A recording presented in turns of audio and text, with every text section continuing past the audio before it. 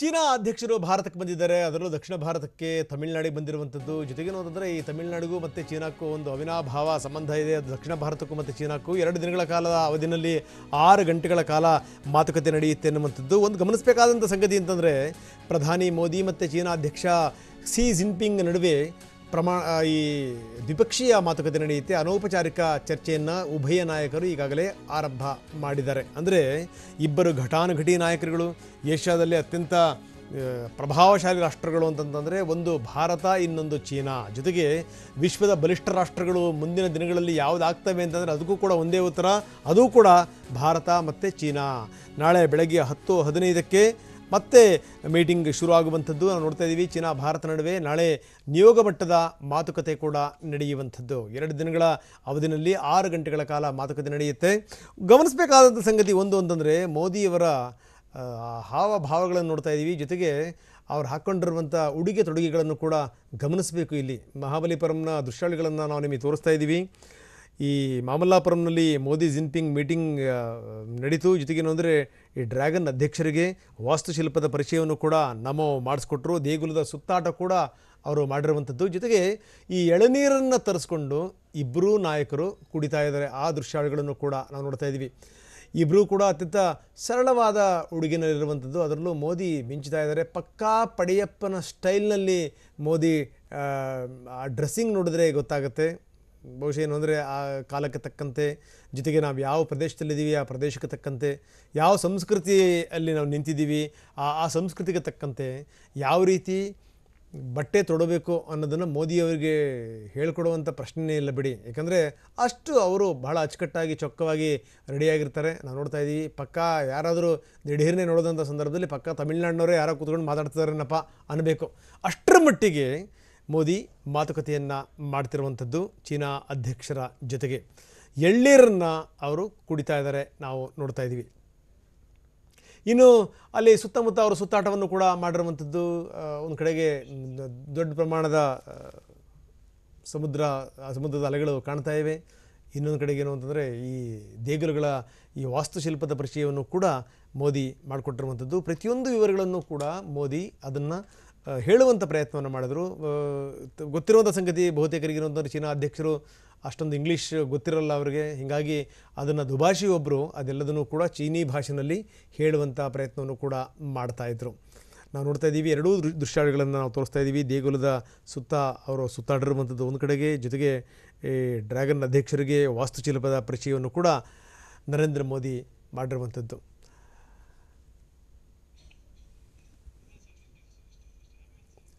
ಒಂದು ಲೆಕ್ಕದಲ್ಲಿ ವಿಶಿಷ್ಟವಾದಂಥ ಸಭೆ ಇದು. ಇದು ಮೂರನೆಯ ಸಭೆ ಇದು ನಡೀತಾ ಇರುವಂಥದ್ದು. ಮೊದಲನೇ ಸಭೆ ನಡೆದಿದ್ದು ಅದು ರಷ್ಯಾದಲ್ಲಿ, ಎರಡನೇ ಸಭೆ ನಡೆದಿದ್ದು ಇದೇ ರೀತಿಯ ಸಭೆ, ಅಂದರೆ ಅನೌಪಚಾರಿಕವಾದಂಥ ಸಭೆ ಇದು. ಈ ಸಭೆ ನಡೆದಿದ್ದು ಎರಡನೇದು ಚೀನಾದಲ್ಲಿ ನಡೀತು. ಈಗ ಮೂರನೇ ನೋಡಿ ಮಹಾಬಲಿಪುರಂ. ಮಹಾಬಲಿಪುರಂ ಗೊತ್ತಿರುವಂಥ ಸಂಗತಿ ಏನು ಅಂದರೆ ಪಲ್ಲವರು ಆಳಿದಂಥ ನಾಡು ಇದು ಮಹಾಬಲಿಪುರಂ. ವಾಸ್ತುಶಿಲ್ಪಕ್ಕೆ ತುಂಬ ಹೆಸರುವಾಸಿಯಾಗಿರುವಂಥದ್ದು ಅಲ್ಲಿ ಅಲ್ಲಿರುವಂಥ ಈ ಬೃಹತ್ ಬೃಹತ್ ಗಾತ್ರದ ಆನೆಗಳ ವಿಗ್ರಹಗಳನ್ನು ನೋಡಿದ್ರೆ ಗೊತ್ತಾಗುತ್ತೆ ಹೆಂಗಿದೆ ಅನ್ನುವಂಥದ್ದು. ಜೊತೆಗೆ ನೋಡಿದ್ರೆ ಈ ಪಂಚಪಾಂಡವರಿಗೂ ಕೂಡ ಈ ಐದೈದು ರಥಗಳಿರುವಂಥದ್ದು, ಅಂದರೆ ರಥರ ರಥದ ಮಾದರಿಯ ದೇವಾಲಯಗಳಿರುವಂಥದ್ದನ್ನು ಕೂಡ ನಾವು ನೋಡ್ತಾ ಇದ್ದೀವಿ. ಸೊ ಇದು ಮಹಾಬಲಿಪುರಂನ ವಿಶೇಷತೆ ಒಂದು ಲೆಕ್ಕದಲ್ಲಿ. ಇಡೀ ತಮಿಳ್ನಾಡು ಇದೆಯಲ್ಲ ತಮಿಳ್ನಾಡಿನ ದೇಗುಲಗಳಿದೆಯಲ್ಲ, ಆ ದೇಗುಲಗಳನ್ನು ನೋಡಿದಂಥ ಸಂದರ್ಭದಲ್ಲಿ ಅನಿಸುತ್ತೆ ಇದು ಎಂಥ ವಾಸ್ತುಶಿಲ್ಪ ಇರಬಹುದಪ್ಪ ಅಂತ ಅನಿಸ್ಬಿಡುತ್ತೆ. ಯಾಕಂದರೆ ಅಲ್ಲಿ ಶ್ರೀರಂಗಮ್ ಆಗಿರ್ಬೋದು, ಈ ಬೃಹದೇಶ್ವರ ಆಗಿರ್ಬೋದು, ಇವೆಲ್ಲವೂ ಕೂಡ ತಮಿಳ್ನಾಡಿನಲ್ಲಿ ಆ ಬೃಹದೇಶ್ವರ ಟೆಂಪಲ್ ಇದೆಯಲ್ಲ, ಅದಂತೂ ಬಿಡಿ, ಅದು ಒಂಥರ ವಿಸ್ಮಯ ಅದು. ಯಾಕಂದರೆ ಅಷ್ಟೊಂದು ದೊಡ್ಡ ಪ್ರಮಾಣದ ಗೋಪುರ, ಆ ಗೋಪುರದ ಮೇಲ್ಭಾಗ ಇದೆಯಲ್ಲ, ಆ ಮೇಲ್ಭಾಗ ಎಂಬತ್ತು ಟನ್ ತೂಗುವಂಥ ಏಕಶಿಲೆ.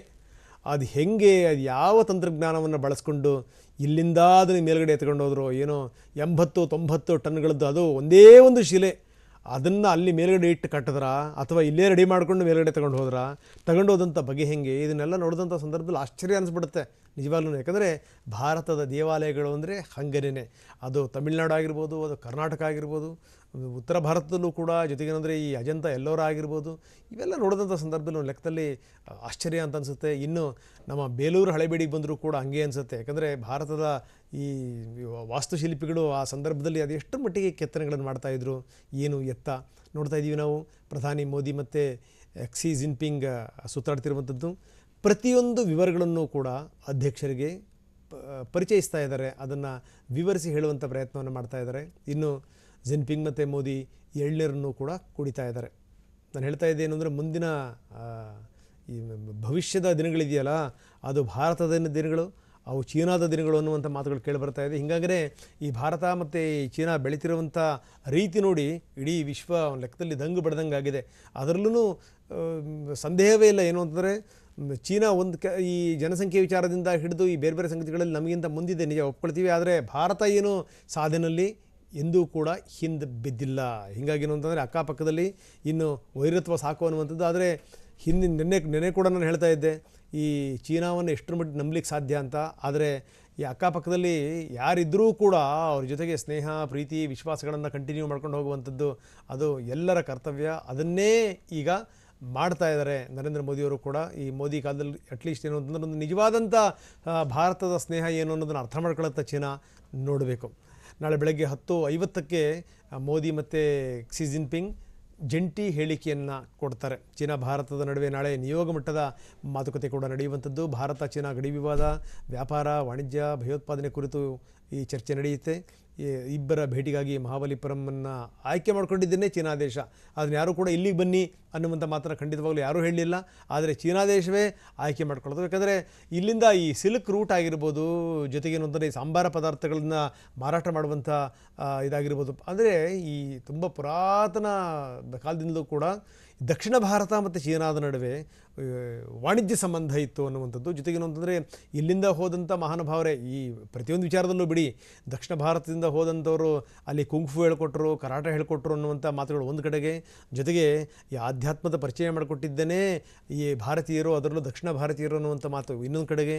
ಜೊತೆಗೆ ಇಲ್ಲೇ ಹುಟ್ಟಿ, ಇಲ್ಲೇ ಬೆಳೆದು ಇಲ್ಲೇ ಜ್ಞಾನೋದಯವನ್ನು ಪಡ್ಕೊಂಡು ಅದಾದ ನಂತರ ದೇವರು ಅಂತ ಪೂಜಿಸಲ್ಪಟ್ಟಂಥ ಭಗವಾನ್ ಬುದ್ಧ ಕೂಡ ಯಾಕಂದರೆ ಈ- ಬೌದ್ಧ ರಾಷ್ಟ್ರಗಳಲ್ಲಿ ಇದು ಕೂಡ ಒಂದು, ಎಷ್ಟೊಂದು ದೊಡ್ಡ ದೊಡ್ಡ ಮಂದಿರಗಳಿದೆ ಬೌದ್ಧ ಮಂದಿರಗಳು ಅಂತಂತಂದರೆ ಚೀನಾದಲ್ಲಿ. ಒಂದು ಲೆಕ್ಕದಲ್ಲಿ ಭಾರತ ಮತ್ತು ಚೀನಾದ ನೋಡಿದಂಥ ಸಂದರ್ಭದಲ್ಲಿ ಚೀನಾ ಎಂದೂ ಕೂಡ ಭಾರತವನ್ನು ಬಿಟ್ಟು ಇಲ್ಲವೇ ಇಲ್ಲ ಅನ್ನುವಂಥದ್ದು. ಈ ರಾಜಕಾರಣ ಬಂದಾದಮೇಲೆ ಒಂದಷ್ಟು ಪರಿಸ್ಥಿತಿಗಳು ಹದಗೆಡ್ತು, ಅದಾದಮೇಲೆ ನಮ್ಮ ನಮ್ಮ ಮೇಲೆ ಯುದ್ಧ ಸಾರಿದರು, ಅದೆಲ್ಲ ನಿಜ. ಆದರೆ ಪಕ್ಕದಲ್ಲಿರುವಂಥ ಒಂದು ಒಬ್ಬ ಒಂದು ಬಲಿಷ್ಠ ರಾಷ್ಟ್ರಕ್ಕೆ ರಾಷ್ಟ್ರದ ಜೊತೆಗೆ ಸ್ನೇಹದಿಂದ ಇರಬೇಕು ಅನ್ನುವಂಥದ್ದು ಅದು ಅತ್ಯಂತ ಸಹಜವಾಗಿರುವಂಥ ಸಂಗತಿ. ಅದನ್ನು ಮೋದಿ ಯಶಸ್ವಿಯಾಗಿ ಮಾಡ್ತಾ ಇದ್ದಾರೆ. ಎಲ್ಲೂ ಕೂಡ ಏನೇ ತೊಂದರೆಗಳಿರ್ಬೋದು ಕೆಲವು ಸಂದರ್ಭಗಳಲ್ಲಿ, ಗಡಿಗಳಲ್ಲಿ ಈ ಸೈನಿಕರ ತಿಕ್ಕಾಟಗಳಿರ್ಬೋದು ಈ ಡೋಕ್ಲಾಮಲ್ಲಿ ಏನೇನಾಯಿತು ಅನ್ನುವಂಥದ್ದು ಗೊತ್ತಿರುವಂಥ ಸಂಗತಿ. ಅವರು ಕೂಡ ಸೈನಿಕರನ್ನು ಬಿಟ್ಟರು ಬಿಟ್ಟಿದ್ರು. ನಾವು ಕೂಡ ಸೈನಿಕರನ್ನ ಬಿಟ್ಟಿದ್ವಿ. ಆದರೆ ಅಪ್ಪಿ ತಪ್ಪಿ ಅಲ್ಲಿಂದ ಸೈನಿಕರನ್ನ ವಾಪಸ್ ಕಸ್ಕೊಳ್ಳಲಿಲ್ಲ ಮೋದಿ ಕೊನೆ ತನಕ. ವಾಪಸ್ ಅವರೇ ಹೋದರು ಚೀನಿಯರು. ನಾವು ನೋಡ್ತಾ ಇದ್ದೀವಿ, ದೇವಸ್ಥಾನದ ದೃಶ್ಯಗಳನ್ನು ಕೂಡ ನಾವು ನೋಡ್ತಿರುವಂಥದ್ದು. ಆ ಆ ದೇವಸ್ಥಾನದ ಸುತ್ತ ಮೋದಿ ಒಂದು ರೌಂಡ್ ಹಾಕ್ತಾ ಇದ್ದಾರೆ. ಪಕ್ಕಾ ತಮ್, ತಮಿಳಿಯನ್ನ ಸ್ಟೈಲಲ್ಲೇ ಪಂಚೆ ಉಟ್ಕೊಂಡು ಅದೇ ರೀತಿ ಒಂದು ಶಲ್ಯವನ್ನು ಕೂಡ ಹಾಕಿರುವಂಥದ್ದು. ಹೆಗಲ ಮೇಲೆ ಒಂದು ಟವಲನ್ನು ಕೂಡ ಹಾಕಿರುವಂಥದ್ದು ಮೋದಿ.